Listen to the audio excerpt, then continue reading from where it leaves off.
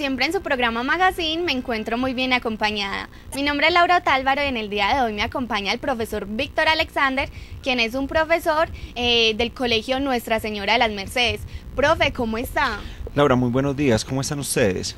Bien, gracias, profe. Antes de que empecemos, yo le quiero agradecer por habernos permitido este espacio, conociendo más a fondo quién es el profesor Víctor, eh, lo que él realiza, sus gustos y su ámbito familiar. No, Laura, a ti es a quien te debo agradecer la invitación y compartir este ratico con ustedes y con todos los, los televidentes. Claro que sí. Bueno, ahora sí, para que empecemos, háblenos sobre el profesor Víctor. ¿Quién es Víctor Alexander y usted cómo se considera? Bueno, Laura, a ver, como profesor creo que soy una persona muy consciente de las necesidades de los jóvenes, de los gustos, de todas esas pasiones que despierta en los jóvenes el mundo actual, pero también soy muy consciente de las necesidades que ellos tienen de la parte académica, la parte formativa, la parte social y trato de estar al lado de ellos en este proceso formativo para que ellos adquieran grandes conocimientos y sean una persona interesante y que sea útil a la sociedad. Bueno, y eso lo vemos día a día, así que lo felicitamos por eso. Bueno, profe, antes de que empezáramos el programa, usted nos contaba que usted no es profesor como tal, sino que usted estudió administración de empresas. Entonces nos interesaría como saber usted por qué terminó siendo profesor. A ver, Laura, es una historia lo más de atractiva será. Eh, cuando yo empecé mi proceso formativo en la Universidad de Antioquia, yo empecé estudiando administración de empresas, eh, descubrí muy buenos talentos pues en la parte eh, matemática, estadística, lógica y todo esto me llevó a, aprovechar esto con amigos que tenían sus hijos estudiando y me fui encarretando con el cuento de las matemáticas en la parte docente. Cuando yo terminé mi carrera, la parte de, materias, se, se dio la oportunidad de colaborarles en el colegio con un déficit que tenían de profesor eh, a partir de ahí encontré mi, mi, ¿qué se dice? Mi gusto por, la, por las matemáticas, eh, mi capacidad y, los, el colegio vio en mí como ese buen desempeño y a partir de ahí me encarreté con el trabajo de la docencia. La verdad, yo he trabajado única y exclusivamente en el colegio. No puedo decir que tengo otras experiencias pues, como colegios, sino que me abrieron la oportunidad y desde ahí me encarreté con ellos, me quedé con ellos y he trabajado muy bueno. Pero muy interesante, entonces desde el momento que usted ya estaba estudiando, ¿usted ya se imaginaba como docente? No, la verdad no. O sea, cuando, cuando yo presenté mi examen de admisión, yo presenté como segunda opción eh, matemáticas y física, pero no me veía en ese momento como profesor de matemáticas. Entonces me incliné por la administración y eh, esto le digo como una casualidad de la vida. Incluso pues después de eso me he tenido que preparar, he buscado formación por otros lados, entonces no me he quedado quieto. Alrededor de la profesión de administración de empresas hemos hecho varias cositas que se relacionan ya directamente con la profesión de docencia. Bueno, profe, pero entonces eso quiere decir que usted también está realizando su profesión como tal. Sí, claro, o sea, eh, la docencia es un mundo donde tú no puedes estar quieto, o sea, tienes que seguir preparándote, buscar nuevas formas, incluso mm, eh, las áreas sociales a mí me han marcado mucho porque yo he visto muchas dificultades, sobre todo en la parte psicológica en, en, el colegio, donde los muchachos presentan dificultades cognitivas, donde los muchachos presentan situaciones sociales, donde, digámoslo así, tienen dificultades familiares, donde son cosas que no necesariamente van ligadas a la parte de aprendizaje, sino que son más relacionadas con la parte de entender la psicología de las personas. Bueno, y además de usted dictar el área de sociales, está también dictando otras materias. A ver, Laura, yo te aclaro algo. Yo la área de sociales no la trabajo. trabajo trabajaba las ciencias políticas, que es más o menos acorde, pero en este momento únicamente dedicaba a las matemáticas, al área de emprendimiento y a las áreas de contabilidad y economía. Bueno, y de estas tres áreas, ¿cuál es la que más le gusta? A ver, por, por mi formación eh, académica, eh, tengo que decirte que me encanta mucho la contabilidad y economía. Me encanta porque es un mundo apasionante, eh, son cosas que van directamente relacionadas con, con lo que yo estudié, con la parte de mi formación pero no te puedo negar que a mí la que realmente me atrae es el área de las matemáticas. Bueno, y hablemos un poco de su niñez y de su juventud. Cuando usted estaba en el colegio, ¿realmente usted era un buen estudiante o el conocimiento que usted lo obtuvo lo tuvo ya cuando estaba en la universidad? No, Laura, o sea, yo tengo que decirte que mi conocimiento, mi capacidad, gran parte la adquirí en el colegio y son las cosas que, que nos llevan a obtener los grandes resultados a, a posteriori. Nosotros en, en, mi familia hemos sido muy disciplinados, o sea, somos inteligentes, puede que seamos un poquito, pero la, la verdadera causa por que nosotros hayamos alcanzado los logros es la parte de la disciplina. Nosotros somos muy disciplinados, cosas que nos han inculcado en, en el hogar, mis papás, mis tíos, nos han inculcado que la disciplina es la esencial en todo proceso formativo que nosotros adquiramos. Claro que sí, y esto es muy importante. Bueno, vamos a ver un pequeño resumen de lo que fue el desfile de silleteros.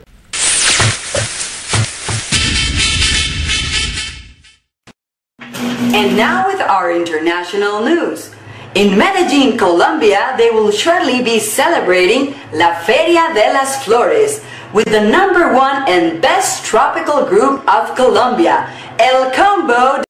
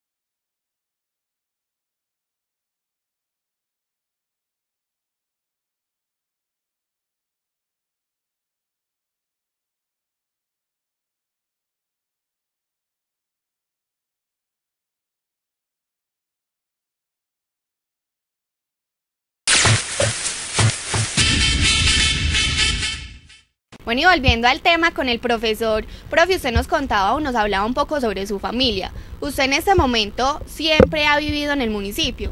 Sí, Laura, toda mi vida lo he vivido acá. Eh, me encanta el municipio, incluso tuve la oportunidad de, irme eh, para desarrollar mi formación pues académica y la verdad no, el pueblo es lo mejor, la unión es un paraíso como lo llaman muchos, eh, acá toda la gente es muy acogedora, nos divertimos todos, todos nos conocemos, entonces es como un ambiente muy familia en grande y por eso yo creo que a la unión no la olvido y no me, no me desprendería de ella nunca. Bueno, ¿y en qué colegio estudió usted? Bueno, mi formación eh, académica en la parte secundaria la desarrollé en la institución Pío XI, en ese entonces, entonces llamado Liceo Pío XI, eh, hasta el año 96. Bueno, profe, viendo la historia que usted nos acaba de contar, ¿usted qué cree que debe tener un buen profesor? Bueno, creo que un profesor debe tener muchas cualidades. La primera, creo que debe tener mucha paciencia debe ser muy capacitado, debe tener unas fuentes muy buenas, debe tener una disciplina, mucha constancia, ser muy, muy amante de lo que hace. Porque si uno no hace su, su labor con amor, con gran cariño, con gran esmero, porque los muchachos obtengan los buenos resultados, estoy casi seguro que nunca va a encontrar buenos resultados en sus estudiantes. Bueno, ¿y usted cree que una persona para llegar a ser profesor tiene que estar estudiando esa carrera o no? A ver, Laura, es importante. Yo creo que, eh, como te contaba anteriormente, eh, uno en la, en la educación no termina de prepararse.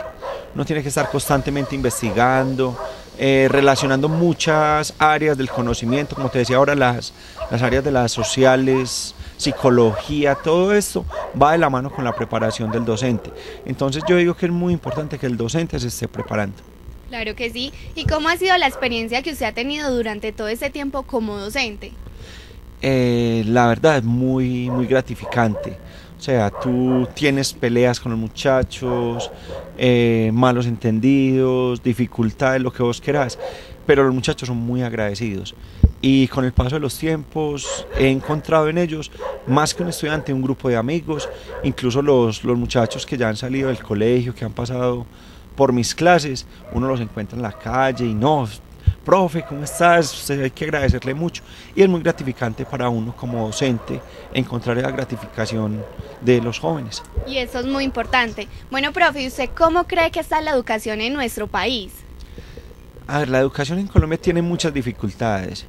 Partamos de que es una educación que es muy excluyente, eh, desde la manera en que estudiar hoy en día no es para todo el mundo.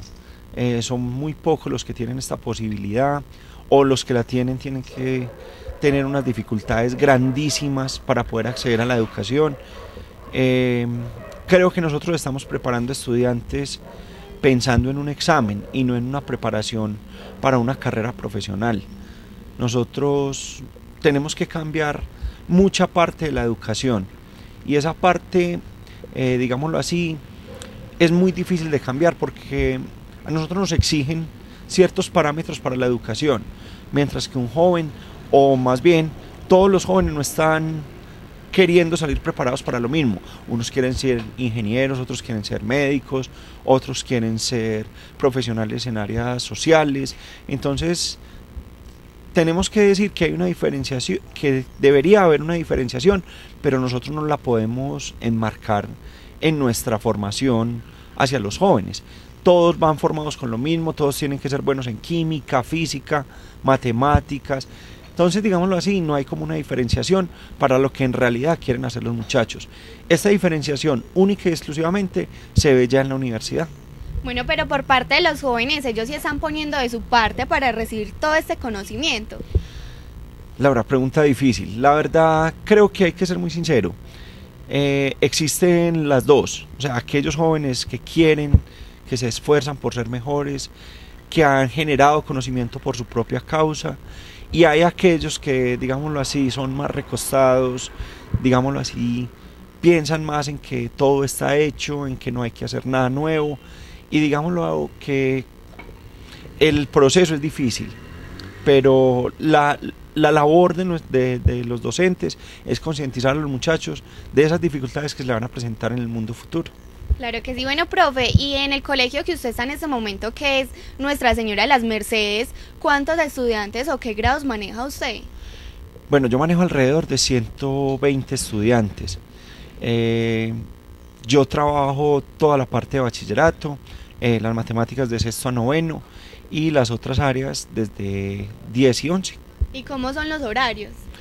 Eh, Laura, nosotros trabajamos una jornada completa, digámoslo así, es una de las ventajas que tiene el colegio, porque nosotros tenemos una jornada donde los muchachos están todo el día trabajando, desde las 7 y media hasta las 4 y 20, que ya es la hora de que los muchachos salgan eh, a descansar, a compartir con su familia y, ¿por qué no hacer un poquito de tareas para su formación? Claro que sí, ya que nos habla sobre la formación, para los muchachos de 11 también se les está dando alguna técnica, media técnica.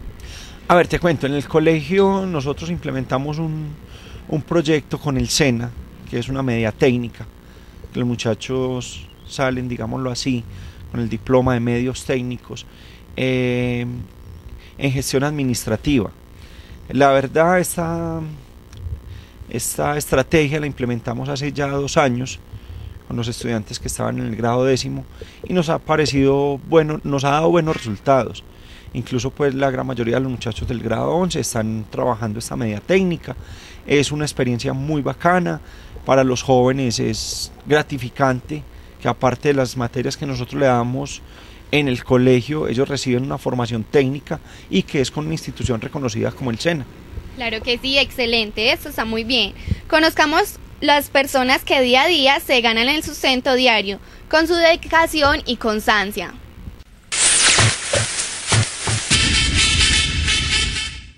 Yo empecé aproximadamente 20, 22 años.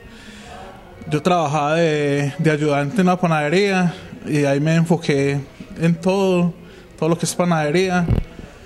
Y comencé, comencé y fui cogiendo, fui cogiendo experiencia. Y vea, acá estoy hace 14 años, estoy acá en la Unión con Lácteos Mariana. Al principio ya es Cocopan, trayéndole nuestros productos a la gente del pueblo.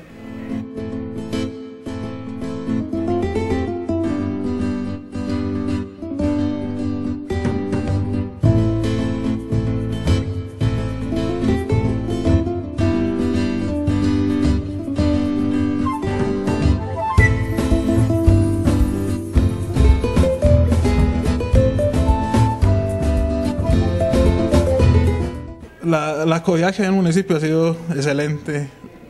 Pues nunca creí que él me fuera a acoger tan bien con, con, mis productos. Y cada día creciendo más, cada día más, más afianzados acá en la Unión y, entregando buenos productos. Gracias a Dios. Eh, cuando éramos lácteos Mariana empezamos más que todo con pan de queso y pan. El, el producto bomba de nosotros fue pan, pan queso. Ese fue el que, el que más, al principio más, más nos acogió la gente. Y ya fuimos metiéndole más productos. Ya, ya sacamos una gran variedad: pastelería, panificación, tortas frías, eh, galletería, mucha, mucha variedad. Anécdotas, pero buenas. O sea, Sí, yo, yo nunca creí que, que, yo fuera a pegar también acá en la Unión como panadero y mira, hace 14 años que estoy acá y, y como que seguimos creciendo, seguimos más para adelante.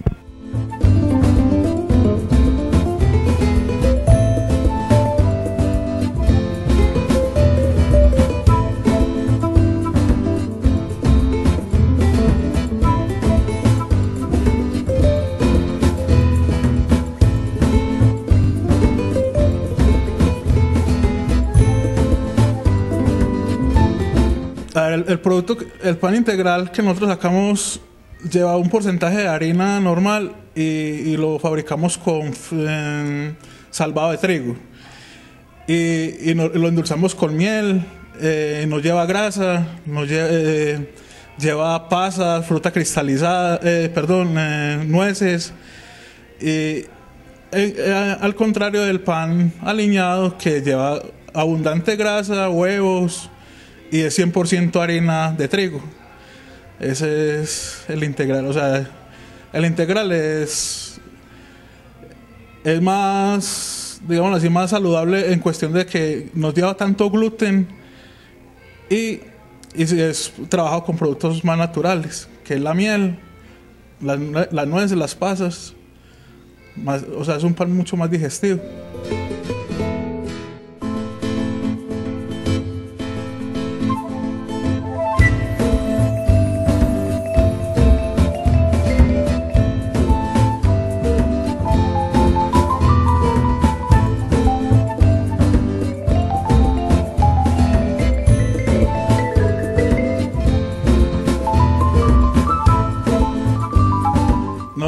Yo, les sigo diciendo, primero que todo le agradezco a la gente por la, la gran acogida que nos, que nos ha brindado durante esos 14 años, que gracias a ellos estamos donde estamos y que sigan, sigan probando nuestros productos, que, que con la ayuda de Dios vamos a seguir sacándolos con mayor, con mayor, pues, con mayor dedicación y, y cada día mejor y posiblemente más adelante saquemos productos nuevos para que los prueben, para que nos sigan visitando. Estamos acá en el parque principal y siempre bienvenidos. A la hora que, que lo prueben, acá estamos. Con mucho gusto para servirles y siempre trabajamos con el mayor de los gustos para este pueblo tan bonito que es la Unión.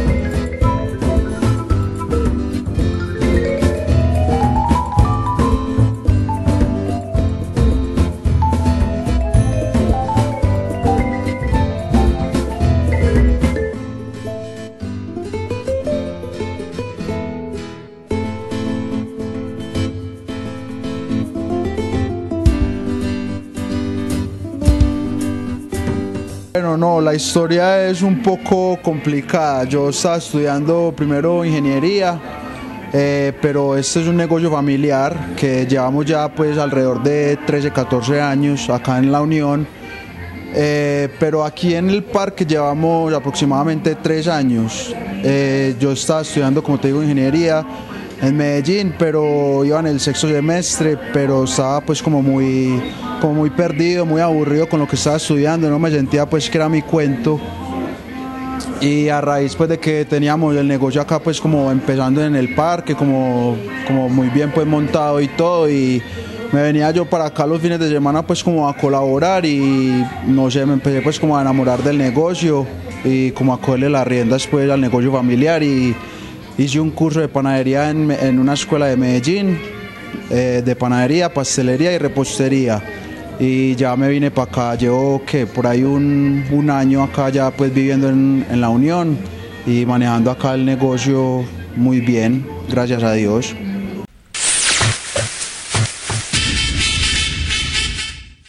Bueno, queridos televidentes, recuerden seguirnos en nuestro canal de YouTube que aparece como Canal 8 La Unión. Y bueno, para todas las personas que nos están viendo, sean de nuestro municipio o de otros municipios cercanos, si quieren hacer parte de su programa Magazine, lo pueden hacer contactándonos al número 319-230-5598. En el día de hoy nos acompaña el profesor Víctor Alexander, quien nos está contando toda su historia como profesor, cómo fue que terminó siendo profesor y no administrador de empresas. Bueno, profe, ¿qué otras experiencias ha tenido usted como docente? A ver, Laura, nosotros, incluso este año fue nuestro primer año, nosotros veníamos trabajando en un proyecto de formación para preuniversitarios y pre-ICFES. Eh, nosotros veníamos trabajando en compañía del profesor Jorge Hernán, a quien le debo mucha parte de lo que realizamos ahí, porque entre los dos veníamos elaborando un conjunto de estrategias para fortalecer esta parte del preuniversitario ya que muchos de los jóvenes que salen bachilleres de nuestro colegio o de nuestra localidad más bien se quedan como a esperas de no poder ingresar a una universidad. Nosotros vimos esa necesidad, presentamos un proyecto este año, agradecerle al parque educativo también porque ellos fueron quienes nos abrieron la oportunidad para trabajar. Eh, este preuniversitario eh, encontramos en ellos como que la viabilidad y la disponibilidad para que hiciéramos ese trabajo eh, con unos resultados satisfactorios que hubiésemos querido más participación de los jóvenes, ya que nosotros habíamos hablado de un total de un más o menos entre 80 y 100 personas. Llegamos a trabajar con 75, pero en el transcurso pues del curso fueron desertando varios estudiantes. Terminamos alrededor con 60, 65 estudiantes y digámoslo así, fue una experiencia muy bacana. Incluso ya pues hemos hecho la evaluación de este proyecto y la verdad venimos para el año entrante con mejoras y con nuevas intenciones para fortalecer más esta parte de formación de los jóvenes. Bueno, y las personas o los jóvenes que estén interesados en hacer parte de este preuniversitario, los próximos años tienen que llevar algún proceso o cómo lo pueden hacer? No, la verdad, Laura, es un proceso de cuatro meses y medio que nosotros planteamos pues para la para esta formación no requiere ningún ningún dato, ninguna especificación clara Simplemente es que los muchachos tengan los deseos de fortalecer esa parte académica y recordar situaciones que durante todo el bachillerato las han visto, las han trabajado. Eh, nosotros lo que hacemos es únicamente fortalecerlo y darle solución a problemas que se pueden plantear tanto en los exámenes de admisión como en las pruebas ICFES. Qué bien, eso está muy interesante. Bueno, profe, usted también nos decía que para las áreas de matemáticas, física y otras áreas, aunque usted no estudió eso, usted tuvo que seguir ahí como estudiando. ¿Usted qué fue lo que hizo? ¿Cómo se preparó? A ver, Laura, eh, hoy en día el que no se prepara es porque no quiere. Eh, yo he participado en muchos diplomados, eh, invitaciones de la Red Matemática de Antioquia.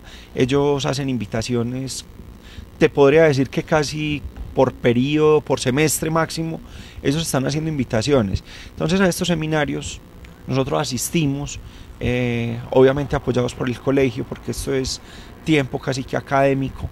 Nosotros vamos a seminarios, eh, nos fortalecemos en la parte de, de, formación con la red matemática de Antioquia, de la cual hago parte, y nosotros mm, en estos eh, seminarios, perdón, lo que hacemos es fortalecer esa parte formativa y ya por nuestra propia cuenta eh, hemos estado en, en la formación social y haciendo cursos por internet, incluso con la Universidad de Antioquia también hemos asistido a cursos de formación social.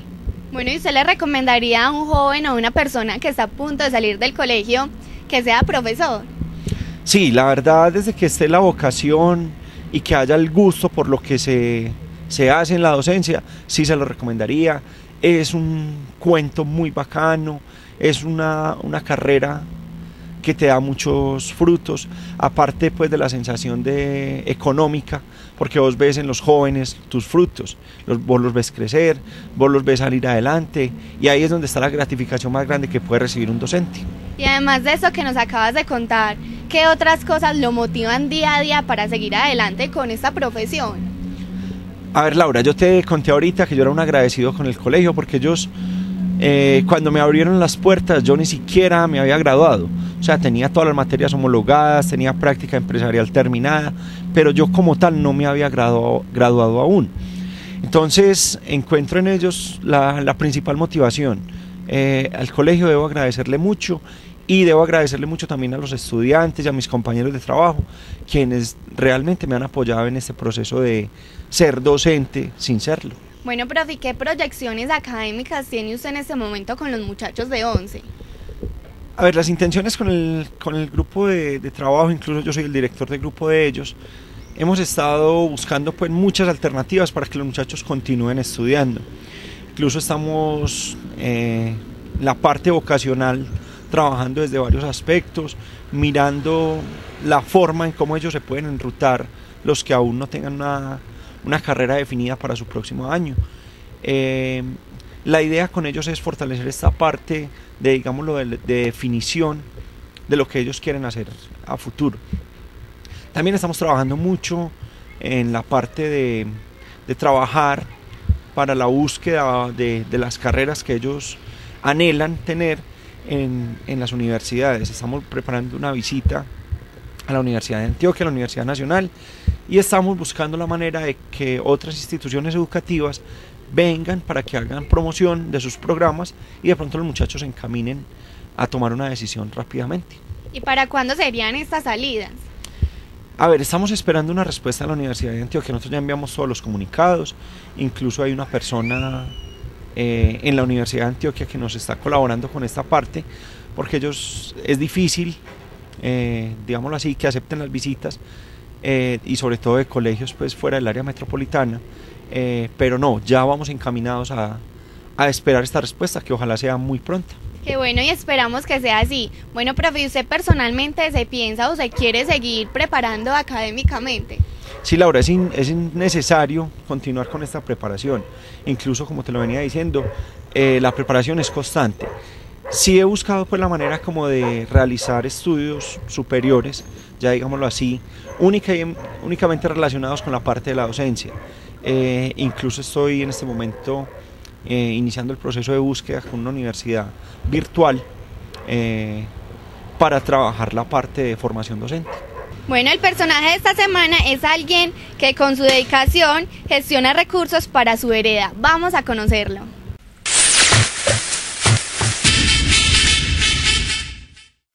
Bueno, ¿y usted cuál es el cargo que desempeña en el consejo? Eh, soy vicepresidente segundo, eh, sí, concejal por segundo periodo. Bueno, ¿y usted cómo ayuda a la comunidad o esta vereda desde el consejo? Eh, eh, estamos iniciando pues eh, esta segunda, esta etapa del Consejo 2016-2019. Estamos, eh, yo estoy muy enfocado en lo de las vías. Eh, lo que pasa es que ahorita se está aprobando el plan de desarrollo, se acaba de aprobar, entonces todavía no hemos podido traer como las ayudas que necesitamos para nuestro municipio, para nuestras veredas. Claro que sí, bueno, esperamos que sea así. Bueno, ¿y usted qué nos puede decir de la vereda como tal? De la vereda, ¿qué le puedo decir? Que es una de las mejores veredas del municipio de La Unión, donde tenemos gente amable, gente servicial, gente que trabaja y es una vereda muy sana, una vereda muy unida para todo lo que necesitamos tener para el buen vivir de, de nuestra gente. Qué buen concepto. ¿Hace cuánto tiempo vive usted en esta vereda? Eh, llevo 25 años acá en la vereda. 25 años. Sí. Y durante estos 25 años, no sé, ¿la vereda ha tenido algún cambio? Eh, ha tenido cambios para bien, porque como bien sabe todo el mundo, la violencia pues nos azotó a todo mundo, a todos los municipios de Antioquia, e incluso la Unión fue una de las más afectadas. El cambio que hemos tenido es para bien, ha mejorado mucho. Qué bueno, bueno, ahora que lo estábamos buscando a usted hace un rato, nos dimos cuenta que usted estaba trabajando. ¿Dónde trabaja usted? Claro, Laura, yo trabajo acá en el campo, pues los- las hortensias, tengo varios cultivos de hortensias, trabajo pues con, con varias gente y ese es mi trabajo, allí somos nosotros, trabajamos el campo, trabajamos las flores y a todos le hacemos un poquito. Qué bien, así como nuestro programa Así Somos. Claro, sí, ve, sale el nombre, así somos, así somos nosotros, así soy yo, soy el único concejal del campo y, y trabajo en el campo, es mi trabajo, Qué bien, lo felicitamos. ¿Y en qué horarios trabaja usted? de 6 a 6. De 6 a 6, Claro o sea que es un horario Claro, siempre pesado. claro, sí, toca, toca porque para poder so- sobrevivir necesitamos eh, trabajar duro. Claro que sí. Bueno, ¿y más o menos cuántos habitantes viven en este momento en la vereda? Eh, Laura, no tengo el dato exacto en el momento, pero lo averiguaré con la presidenta.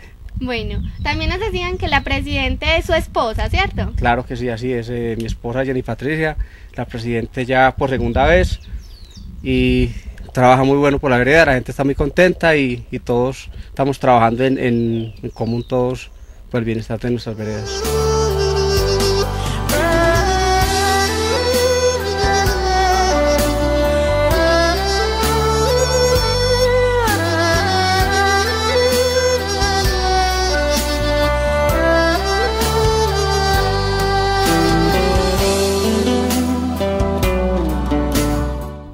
¿Cuáles son las actividades que su esposa, como la presidenta de la Junta de Acción Comunal, debe realizar en la comunidad?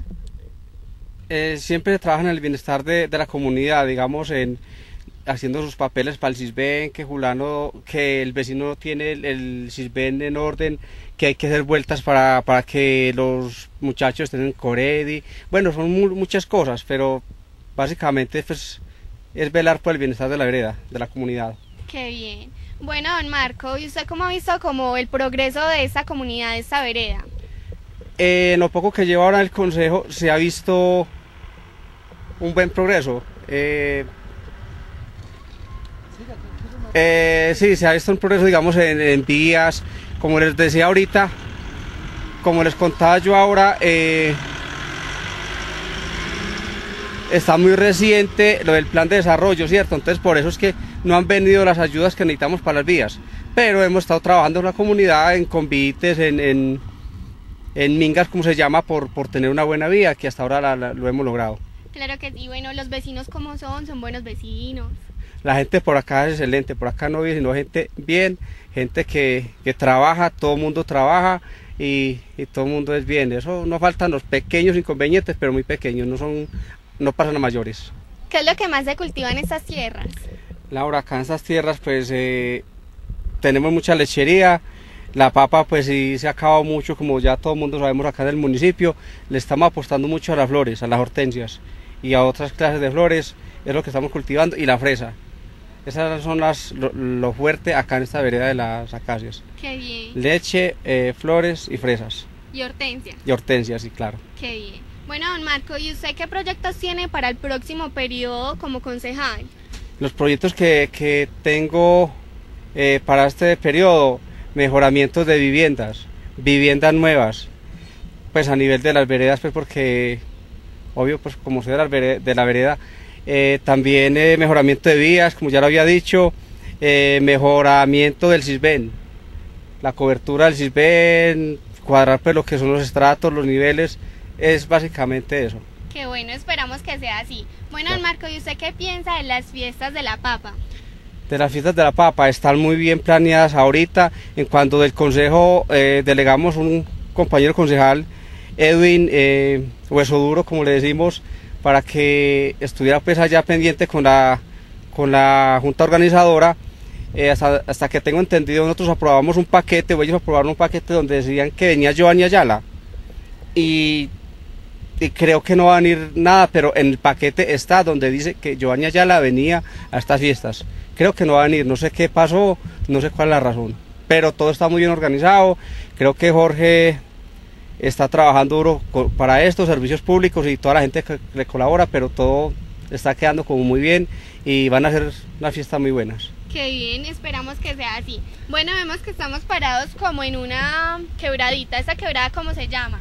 Eh, se llama quebrada la, la, las acacias, pues porque para por acá, pero otros la llaman la quebrada de, quebrada de piedras. De piedras, ¿por qué de piedras? No sé, siempre la llamamos que el río Piedras, porque tal vez es donde nace el río Piedras, parte de donde nace el río Piedras, pero eh, básicamente llamamos el río de las acacias, claro. acá en este punto. Bueno, ¿y qué lugares no se recomendaría usted para conocer en esta vereda? Acá en esta vereda tenemos una parte turística de la escuela, es un, una escuela muy bien, muy bien ubicada, donde tiene pues unos charcos eh, que pues habría que hacer algunos mantenimientos, pero una parte excelente para visitar y, y todo por acá muy bonito. Qué bueno, don Marcos, muchísimas gracias. Gracias a usted, Laura, y, y contarle a la gente de, que nos ve a través de este canal que aquí así somos.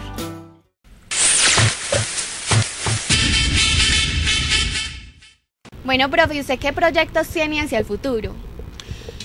A ver, Laura, eh, el futuro es muy incierto, pero la intención es continuar trabajando pues en la parte docente, que eso me, me encarretó, me enamoró y me gusta.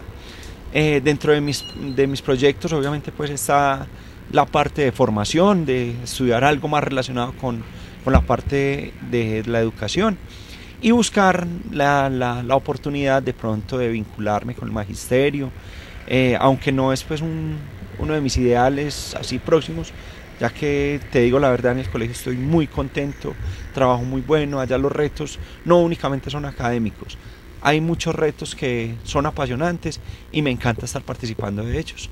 ¿Y qué retos son estos? A ver, el colegio no es para nadie un, un misterio. Nosotros trabajamos casi que con las uñas, porque a pesar de que somos un colegio privado, nosotros los profes tenemos que hacer muchas cosas. Tenemos que ser eh, formadores en la parte de teatro, eh, realizar muchas actividades para el, el, mismo sostenimiento de la institución. Bueno, queridos amigos, recuerden seguirnos en nuestro canal de YouTube que aparece como Canal 8 La Unión. Para todas las personas que nos están viendo, sean de otros municipios o de nuestro municipio, si quieren hacer parte de su programa Magazine, recuerden llamarnos a nuestro número que es 319-230-5598. En el día de hoy nos acompaña el profesor Víctor, quien nos está contando muchas cosas, así que los invito para que sigan ahí pendientes de su programa Magazine. Bueno, profe, hablando ya sobre este tema del teatro, vemos que cada año ustedes eh, realizan ciertas obras. ¿Cómo se llama eso? A ver, Laura, el colegio tiene un proceso ya de 16 años con el teatro. nosotros vemos en el teatro una oportunidad para la formación de los muchachos.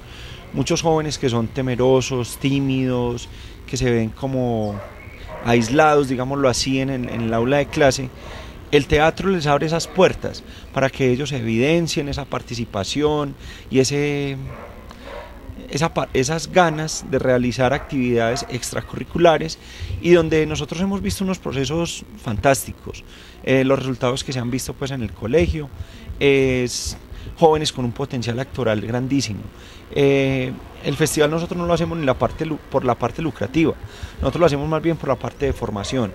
Incluso hemos visto mucho potencial en algunos estudiantes y ya ellos pasan, digámoslo, a un segundo nivel y ellos ya empiezan a trabajar en grupos de teatro, incluso ya tenemos estudiantes que salieron del colegio y que están trabajando la parte actoral ya a manera profesional.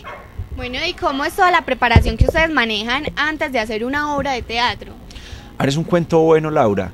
Nosotros, eh, los profes, nos tenemos que volver incluso eh, teatreros, tener esa ideología, cómo montar una obra de teatro, incluso desde la misma búsqueda, para que seamos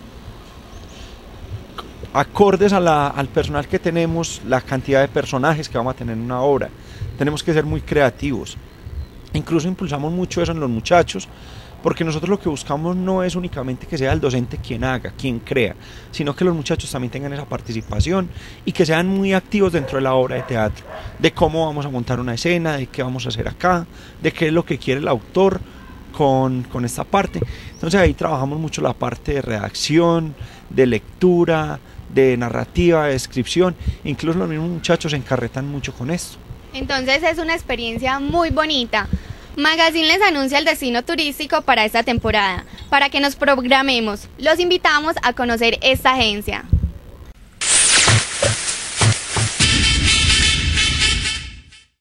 Y queremos eh, compartir en esa oportunidad eh, la experiencia de Carmelina. Carmelina surge pensando en la importancia de promover la unión familiar a través de la cultura. Es un lugar campestre donde vamos a encontrar una parrilla de muy buena calidad, donde queremos garantizar, por supuesto, la satisfacción plena de, los productos, pero que al mismo tiempo esa experiencia gastronómica sea eh, compatible, sea fusionada con una experiencia campestre, una, experiencia cultural, eh, porque la familia va a encontrar aquí la oportunidad de conocer un poquito más del Carmen de Iboral. ¿sí? Tenemos exposiciones permanentes de arte, ¿sí? hemos tenido eventos culturales y de alguna manera Carmelina también surge con la necesidad de reconocer algo tan importante como la tradición locera de nuestro municipio. Sabemos que el Carmen de Oral recientemente obtuvo el sello de, denominación de origen, lo que coloca el producto eh, del Carmen a la expresión cultural del Carmen en, en un sitial fabuloso ¿sí? de lo que nos sentimos muy orgullosos y queremos compartir eso con toda nuestra comunidad.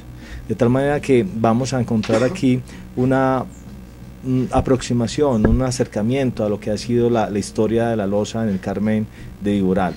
Entonces, eh, Carmelina quiere hacer un honor a esos artesanos, a, esos, a esas decoradoras que han impulsado precisamente esa expresión artística a través de, de la loza y por eso se denomina Carmelina eh, en honor a una de las más importantes decoradoras que precisamente una de las pintas de la losa se denomina Carmelina, ¿sí? que aprovechamos para darle un saludo a la familia de ya la desaparecida doña Carmelina. Y, es un lugar donde vamos a encontrar varios servicios, vamos a encontrar el picnic, ¿sí? un lugar campestre como ustedes lo verán en las imágenes, van a encontrar pesca recreativa, van a encontrar tilapia roja, van a encontrar un lugar para los niños, unos brinquitos. También tenemos la posibilidad de que por eh, los usos de esas instalaciones puedan compartir la piscina de un centro recreativo que queda muy cerca, que es el Centro Recreativo Los Vélez, ¿sí? sin ningún costo adicional. Eh, tenemos todos los servicios y el espacio adecuado para que la familia tenga un momento muy, muy especial. ¿sí? Adicional a ello, también queremos eh, compartir que este espacio está abierto a toda expresión cultural. Queremos próximamente tener la posibilidad de recuperar los juegos tradicionales, ¿sí? recuperar la posibilidad de que los niños salgan un poquito de sus aparatos electrónicos y puedan compartir con sus padres y que los padres le puedan enseñar a sus hijos esas actividades que nosotros desde pequeños eh, nos enseñaron, ¿cierto? Porque tenemos eh, una convicción muy importante y es la, la necesidad de promover los valores de la familia, la unión familiar. Entonces, recuperar el, el, el, campo, recuperar o fortalecer las actividades culturales y por supuesto a través de todas esas actividades que la familia encuentre la posibilidad de, un esparcimiento muy muy sano, ¿sí? no solamente llegue al lugar, eh, cenó y salió, no, tiene todas las posibilidades para que se queden descansando todo el día y que puedan recibir de parte de todo nuestro equipo humano el mayor calor de familia. ¿sí? Porque precisamente eh, tenemos un lema que corresponde a nuestra filosofía. En Carmelina nunca, nunca vamos a tener clientes. En Carmelina siempre vamos a tener invitados, porque solamente los invitados se pueden sentir en casa. Entonces eso es lo que queremos, que tengan una experiencia más que un servicio, tengan una experiencia que les permita precisamente recordar a Carmelina y llevarlo en sus corazones, por supuesto.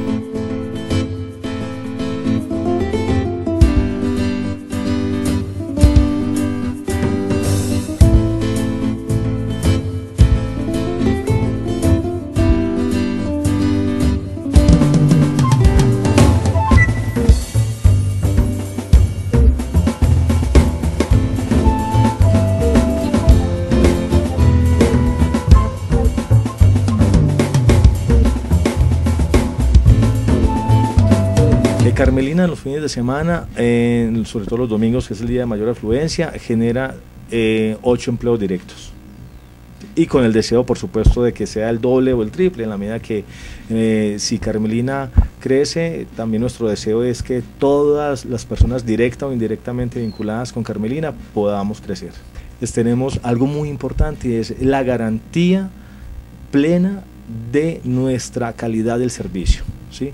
Siempre estamos atentos al crecimiento, siempre estamos atentos a recibir los mejores comentarios, las críticas constructivas, de tal forma que los invitados a Carmelina, si tienen algún inconveniente con algún producto, tenemos la certeza de que va a ser cambiado, ¿sí? con el ánimo de tener la satisfacción plena. ¿sí?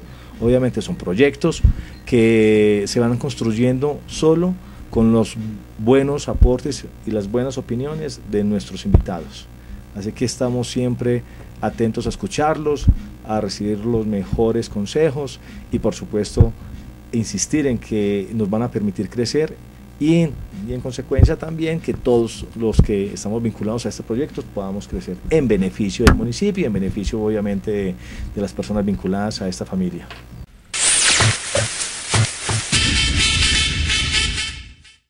Bueno, profe, y no sé, cada grado, cada grupo presenta su obra o es por grados? A ver, cada grupo debe presentar una obra de teatro.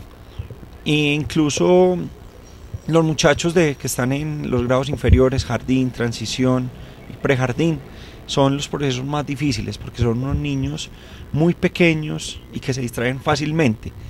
Eh, el reto es grande porque los muchachos pues tienen que aprenderse un libreto, tienen que saber en qué parte entrar. Todos y cada uno de los grupos deben preparar Incluso nosotros los profesores, eh, los padres de familia también deben preparar su obra de teatro.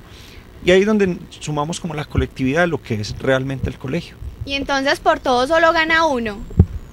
A ver, la parte eh, de los premios es como más por la anécdota.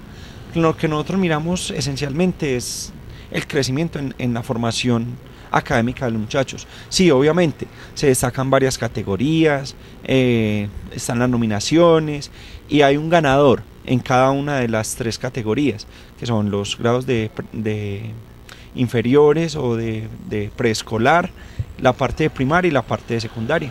Qué bien, bueno, ahora sí cambiando un poco de tema, vemos que a usted también le gusta mucho el deporte. ¿Cuál es el deporte que más le gusta y por qué? A ver, Laura, sí, el deporte es uno de mis hobbies favoritos. Eh, me encanta jugar baloncesto, voleibol. Me gusta admirar muchos deportes, pero en realidad el que me apasiona es el baloncesto. Eh, te cuento, jugué durante muchos años en la selección de acá del municipio de La Unión. Eh, me divierte mucho, incluso gran parte de mi formación personal se la debo al baloncesto, ya que teníamos que competir, teníamos una disciplina, entonces teníamos cosas que realmente me han marcado socialmente. Y en este momento también está jugando en los torneos del municipio. Sí, Laura, actualmente lo hago por una manera divertida, incluso me, me, gusta llevar a los jóvenes a que se dediquen a cosas productivas. Eh, sí, me encanta jugar, trabajo también en el colegio en la parte de, de formación del baloncesto. Me encanta la parte cuando es relacionada con el deporte, lo que tenga que ver, porque yo veo que ahí hay una oportunidad para los jóvenes, para que estén aislados de cosas que no tienen que estar pasando en sus vidas. Qué genial eso. Bueno, profe, ¿y cuál es su plato antioqueño que más le gusta? Laura, yo creo que dice en el clavo. Eh, primero me encanta cocinar. Soy amante de la cocina. Eh, no, te puedo decir muchos platos, pues, y creo que me quedaría corto en esta respuesta. Sí, la, un plato que nos conoce a todos los, los antioqueños es la misma bandeja paisa y creo que es mi favorita. Bueno, y también la cocina como tal, con todas sus cositas. Sí, incluso Laura, te quiero contar algo del colegio. Eh, nosotros en el Festival de Familias, que es otra forma de integrar la familia con los estudiantes y con obviamente los docentes, eh, hemos preparado la bandeja paisa y los últimos dos años nos ha quedado deliciosa. Aquellas personas pues que la han podido disfrutar pueden dar testimonio de ello. Bueno, administrador de empresas, profesor, docente, chef, mejor dicho, estás hecho. Qué bien, profe, lo felicitamos. Laura, no, muchas gracias a ti. Eh, esto es un, un, un proyecto que se ha dado y son gustos que se van relacionando y que llegan a, a, formarse en una sola persona. Claro que sí. Bueno, ahora sí para finalizar, háblenos sobre su ámbito familiar. A ver, mi familia es un poco extraña, porque en realidad yo no vivo ni con mi papá ni con mi mamá. Yo vivo con mis tíos eh, desde hace mucho tiempo. Mi mamá se encuentra pues por, por necesidades laborales en la costa y mi papá se separó de nosotros hace mucho tiempo pero con quien guardo una relación espectacular. Creo que diario, diario nos tenemos que ver porque todavía seguimos siendo sus hijos, eh, nos encontramos, disfrutamos mucho los momentos pues en compañía y socialmente eh, creo que estamos muy bien formados gracias a todos ellos. Bueno, profe, nos gustó mucho conocer más a fondo lo que es el profesor Víctor Alexander, todos sus gustos. Nos encantó haber hablado en el día de hoy con usted, así que muchísimas gracias y le deseamos lo mejor en su vida. Laura, a ti muchas gracias al Canal 8 por eh, esta invitación. Eh, los invito a todos a que vean este maravilloso trabajo que se realiza acá en la Unión con la capacidad y la idoneidad que ustedes muestran cada día. Bueno amigos televidentes, queridos amigos, estas son las personas que pasan por nuestro programa Magazine. Y recuerden, estén ahí pendientes de su programa porque en los próximos programas les tendremos muchas sorpresitas, así que estén ahí pendientes. Si usted quiere hacer parte de nuestro programa, lo puede hacer, así que llámenos, eh, no tengan miedo de llamarnos al número 319-230-5598. Y también recuerden seguirnos en nuestro canal de YouTube que aparece como Canal 8 La Unión. Este programa se realizó gracias al apoyo de la Corporación de Televisión Comunitaria de la Unión, encabezada por nuestro director Rubén Botero, nuestro camarógrafo Fernando Toro, nuestro editor William Toro y quien les habla Laura Otálvaro. Hasta una próxima.